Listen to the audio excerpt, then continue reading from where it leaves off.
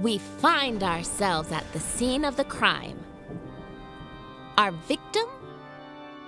A medieval knight of the Dao Wei family. The crime? Being touched by visitors. But how exactly did our top investigators crack the case? And will they be able to bring our knight back to life?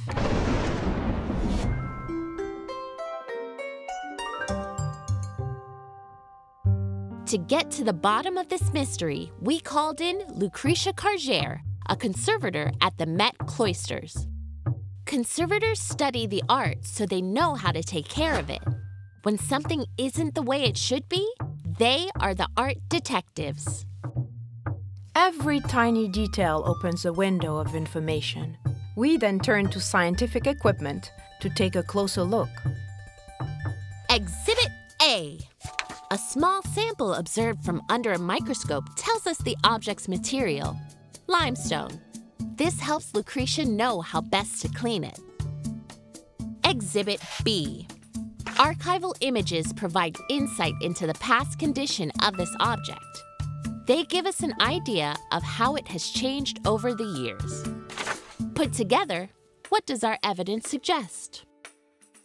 This sculpture has darkened over time from grime, hand oil residues, and tarnishes acquired over the years. Huh? When one person touches an object, it doesn't seem like such a big deal, right? But multiply that single touch by hundreds, maybe hundreds of thousands, and we've got ourselves a sticky situation. The oils from our hands are healthy for our skin, but not for works of art. When they reach an object, they become a magnet for dust. This makes the object appear darker. Not all touch is bad, though. After all, when conservators study and treat works of art, they get to touch them. But remember, it's always safest to leave it to the professionals.